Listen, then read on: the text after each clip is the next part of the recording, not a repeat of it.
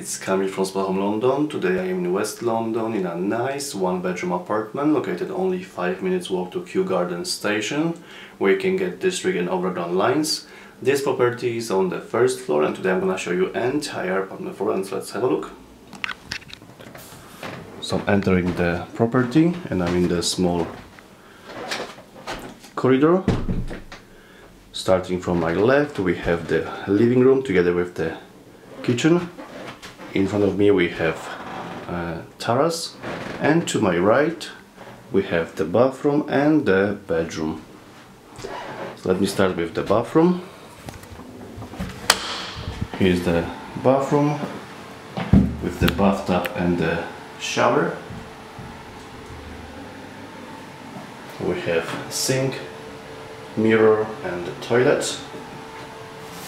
So that's the bathroom. Next to the bathroom we have bedroom. Bedroom is quite spacious with the carpet on the floor.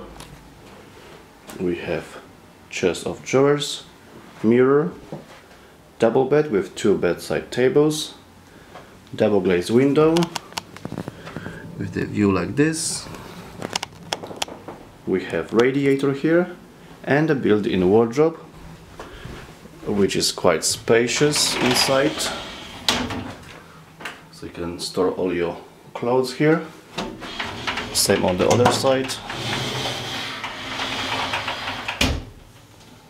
Okay. And once again that's the view of the bedroom. Okay. We're going back to the corridor. Here we have the entrance door. And to my right we have the terrace. Okay so here's the terrace perfect when it's sunny and warm.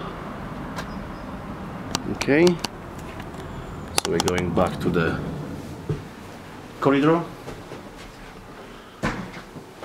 And here to my right we have the living room together with the kitchen. So here's the living room and the kitchen. So let me start with the kitchen. Kitchen is small but very well equipped. You'll find here fridge with the big freezer underneath.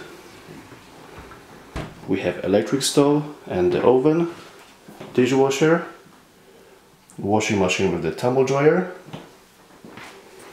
Here's the sink, lots of cupboards where you can store all your food.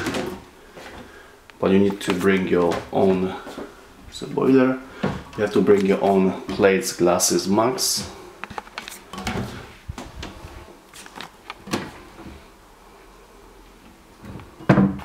okay. So that's the kitchen. Once again. And next to the kitchen we have the living room. Living room is quite spacious and bright. We have a three double glazed windows. Okay we have two armchairs coffee table sofa TV bench one shelf here. We have mirrors on the wall here we have dining table with few chairs, radiator, desk and the chair. Okay, so that's the living room and that's the view outside. Okay, and back to the corridor. So that was the apartment in Kew Gardens. It was great to show you around, a nice place and a great neighborhood. But if you need more information about it, just go to spotahome.com and see you next time.